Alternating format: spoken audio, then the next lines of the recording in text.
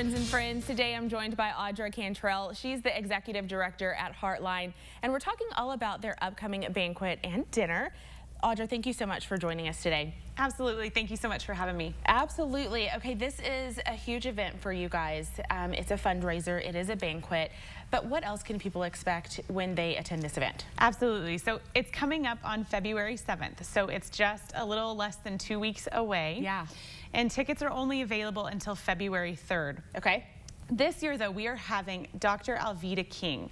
She is our guest speaker, mm -hmm. and she is such a powerful voice, and people are really going to get to be excited to hear her. So she is the niece of Martin Luther King Jr. Wow. Wow.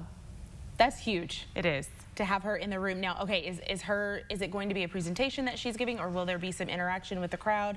What's sure, okay. yes. So it's a dinner and they'll get to see her. We're actually, it's an interview setting and okay. so they'll get to hear all about her life, um, all the experiences that she's had. And then those that have purchased VIP tickets will get to meet her and have their picture taken. That is so amazing. I'm so glad that she's going to be your speaker. That's going to be an, a fabulous conversation. Now, if that's not a good enough reason to be there, there are some additional reasons. What is what does this program help you guys do?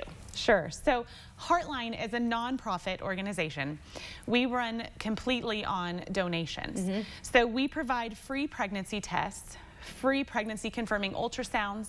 We have prenatal programs, um, and we're located on Broadway, just about a block from Texas Tech. And so this is our big event. Mm -hmm. This is the big um, thing that we do once a year that people can jump on board and support what we do. Now there's going to be a silent auction there too, right? There sure is. So this year we're changing it up and we're calling it a sweepstakes. Okay. So people can purchase tickets. One ticket is $10 mm -hmm. or they can get 12 tickets for $100. And we're going to have all kinds of different items. There's a $4,000 hunting trip. Wow. We have a Louis Vuitton purse. So oh lots goodness. of fun things that people can uh, win. That's awesome. I think you're just going to do pretty well. Those are some I'm really good gifts. I hope so. okay, let's remind those at home one last time. When is this happening and when should they have their tickets purchased by? Absolutely. So it is happening on Friday, February 7th.